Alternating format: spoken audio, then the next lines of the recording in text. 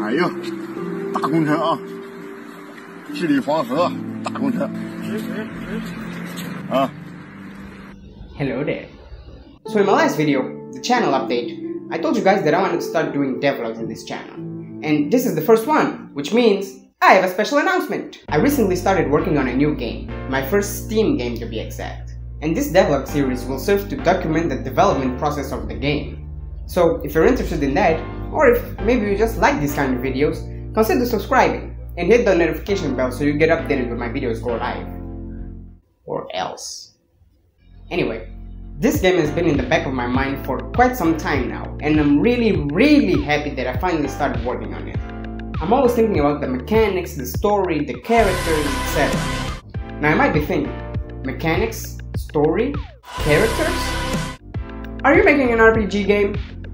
Sorry to disappoint you, but no I'm not. I'm actually making a 2D beat 'em up game, or a 2D brawler if you prefer it that way. I call it Project E. This game won't focus too much on the story, but having a story is definitely gonna help make the characters and their powers feel consistent. This game is inspired by a hidden gem from the 90s called Little Fighter 2. This is probably one of my favorite games from back in the day, I still download it from time to time so that I can get bombarded with nostalgia. Here's how the gameplay works. You have three buttons, attack, jump, defend. Every character can perform these three simple actions. But if you input some special inputs, the character will do some really cool abilities like throwing a fireball, making a nice sword that can freeze your opponent. And these two can even fuse. What's not to like about this game? Now, my game will be sort of similar, but not really.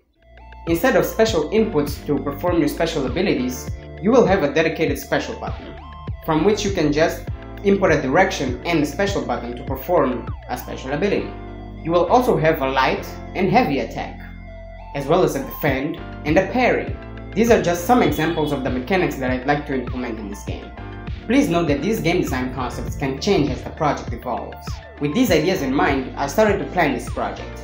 I'm using Milanote to do this, and this is my first time using it, and I immediately fell in love with it. In Milanote, I wrote down the basic character mechanics, a little bit of the story, and some character design ideas. After that, I gathered and organized a playlist of tutorials that I might need for this project. I know, I make tutorials, and I watch tutorials? What?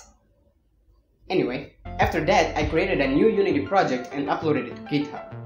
Actually, it's the same project I made in my platformer tutorials, I just copied it. And the first thing I did was take the 2D movement script that we have been creating throughout the platformer tutorials and I broke it down into 5 different scripts. Player main, player input, player movement, player animation, and player collision. At first I was scared to do this because I didn't want to break the script. But it was such a simple process.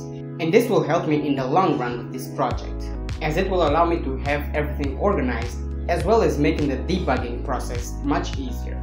If you plan on doing this as well, check out this video by Lost Relic Games because this is the tutorial that I followed, link in the description.